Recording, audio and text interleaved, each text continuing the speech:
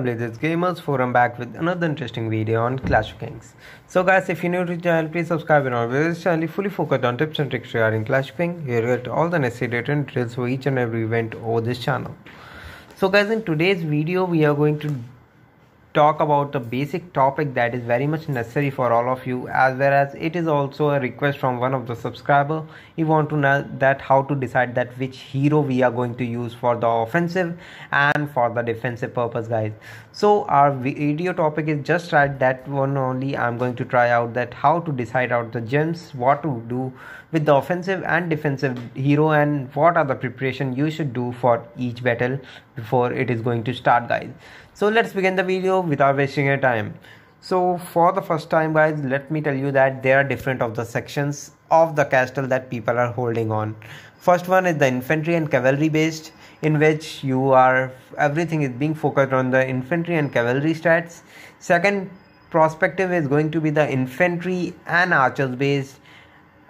On this one the infantry and archer are the main focused on the stats guys. And the third one and the very deadly one is the infantry and siege guys. Yes guys it is something that is new to hear on but really guys siege is really going to be very much deadly.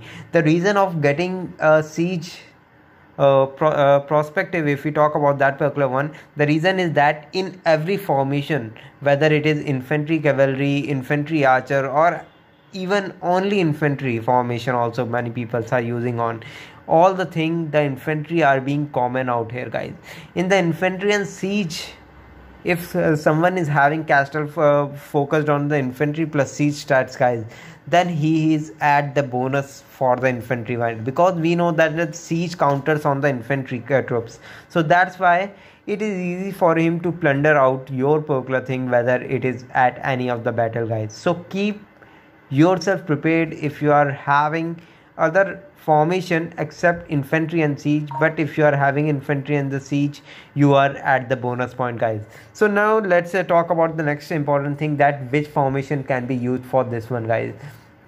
If we talk about the offensive one guys the one thing that you should keep in mind that infantry plus cavalry and infantry plus siege are very much effective for the offensive purpose guys but if you are having infantry and archers guys it is bit low for the offensive purpose but it will perform very well for the defensive one guys.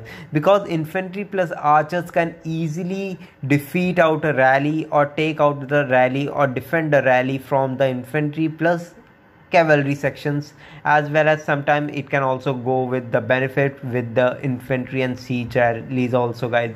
The reason is that archers counters on the siege troops. That's why it is at the bonus one. And infantry and archers is having counter on the cavalry troops. That's why it is on that particular one guys.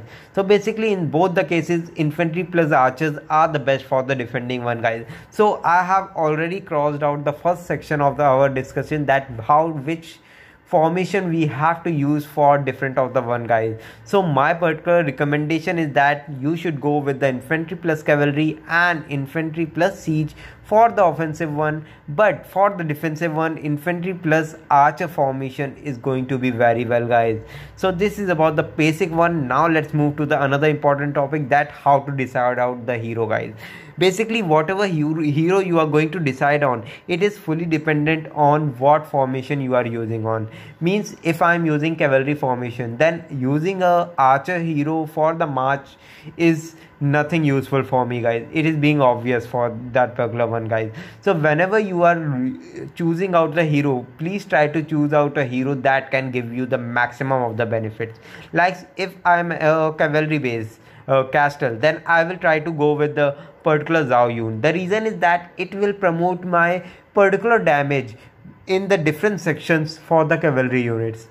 That's why I'm having numerous uh, number of benefits while using Zhao Yun as a particular commander for the offensive march guys. So it is being obvious at this particular one guys.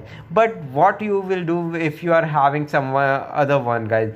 Basically i have seen many of the one and i myself also used in the another castle in the kingdom 31 out here. That is a p6 also. Uh, at that particular one i'm using selma as my particular main hero I'm using Selma because that particular castle is being focused on infantry plus archer stats guys. Keep that in mind. Infantry plus archers. And we are known uh, we also known that uh, Selma is best for the infantry purpose guys. It is a co commander focused on the infantry. That's why I'm using him uh, her as a commander for the offensive match because I am getting additional of the damage from the infantry from this particular one as well as it is very well set up or being exhibit dam damage including for the in infantry plus archer. Because other heroes are being focused on the other main like Christina if we talk about the another one uh, uh, you can see out here the dark knight. These are the one that doesn't perform well for if i use infantry and archer formation out here guys. The reason the main reason about it is that the additional attributes. If we talk about the uh, skill attributes the selma is possessing all the particular attributes uh, focused on the infantry only. So that's why i'm getting benefit out here guys. But if i talk uh, talk about the christina out here the skill is being focused on the cavalry stats so i'm not getting the benefit of infantry plus archer formation that i'm using on. So that's why i don't use uh, christina out here. At that particular one i'm using the particular selma guys.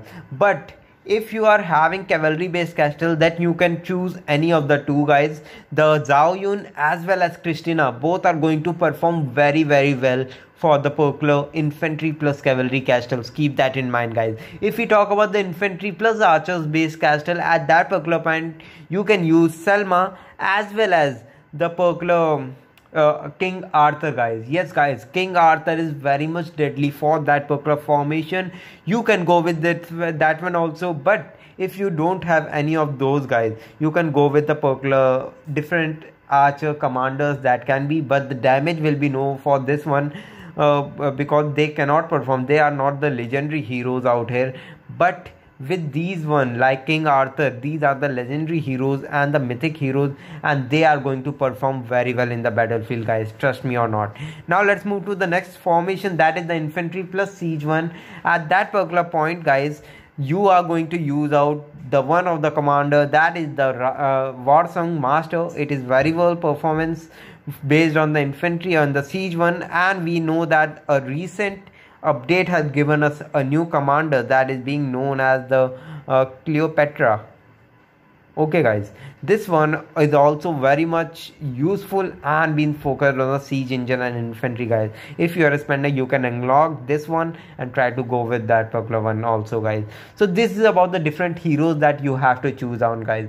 Now let me tell you that what you need to focus on whenever you are using any of the heroes the main thing is the gems guys. Yes guys many people are being confused that what gem you sh we should unlock and being equipped in our heroes guys. So for that particular one let me tell you that whenever you are choosing out the gems the three different gems are going to be very much useful. The first one is going to be the particular health guys. Yes guys blood plays a very important role in the whole battlefield guys. So you need to try to get out all the gems that is being regarding the health. If i am using infantry plus cavalry i will try to dig out the gems that is being focused on the either infantry health or the cavalry health guys. So that is being obvious for you guys. Okay guys? But the second factor that is going to be very much effective is going to be the damage guys. Yes guys damage gems are very much rare but you can get out if you are able to guys. So keep that in mind. The second one you have to dig out the damage one whether it is damage deal by the cavalry or damage deal by the infantry for the infantry plus cavalry formation guys. And now the countering effect guys. Yes guys countering effect gem is also very much important. Means you can increase your if i am having a infantry plus cavalry one so i will go with the increase the effect of countering archer troops guys. Or in, uh, increase the effect of countering the cavalry troops. So these are the gems that is going to give me additional of the damage to the opponent's archer or the cavalry troops if i am having that particular one guys. So this is the also a gem that you can go on guys many people just go on digging out the gems that is being regarding attack and defense guys. So let me tell you guys you can easily grab out the increment in the attack and defense just from the bonus also. But these important uh, sectors like the health damage deal basic attack basic defense offensive damage offensive damage taken reduction or the defensive damage. These are gems that can be rare guys. And these are the things that you cannot easily get from the bonus guys. So that's why these gems play a very important role at that particular point. I hope that you are getting what i'm trying to say guys. If you want to dig out gems try to dig out those gems which are rare and very much helpful for you in the battle. Don't go with the attack and defense gem because it is very much rare and you can easily get out attack and defense bonus from different of the events guys. So keep that in mind guys. Now if we talk about the next gem that is the basic hp and the basic uh, attack and basic defense guys. Yes guys these gems are also very much rare but very much effective guys. So try to dig out these gems also if you are able to do on and use it out to get out the increment in the basic attack and one guys. So guys these are the basic important gems. Apart from that you can go with the defensive attack defensive defense. Okay guys these are the also the gems uh, like uh, defensive damage defensive damage taken reduction. You can go with this one or you can go with the offensive damage and offensive damage taken reduction also guys. So these are the additional them that you can go but the main four that i have told in the starting one like the hp the damage the uh, additional damage uh, okay guys. Like countering effect and the basic attack and defense. These are the four important gems that you should have to try out for the best of the best result guys. Whether it is of any quality you need to go on with that one guys so this is the complete manual about that how you can decide out the hero what are the things that you can do what the attack what are the formation what are the setup that you can for, go for the attack and defense thing. So these are the things that you should need in mind. If you have any queries regarding this video or any other video i will try to sort it out. Please come in the comment section without any hesitation because this channel belongs to you guys only. I will try to sort it out as soon as possible. And guys this is just a first part out here. The subscriber have asked different of the things in the particular one. So i will try to make it in a sequence order. First i have started with the particular formation and hero how to choose it. Now the next one is going to come out soon guys. Please show support. If you find the video information useful of this particular video guys please don't forget to hit the like and subscribe button for sure. I will be back with another video as soon as possible. Till then keep growing with gamerz forum. Thank you guys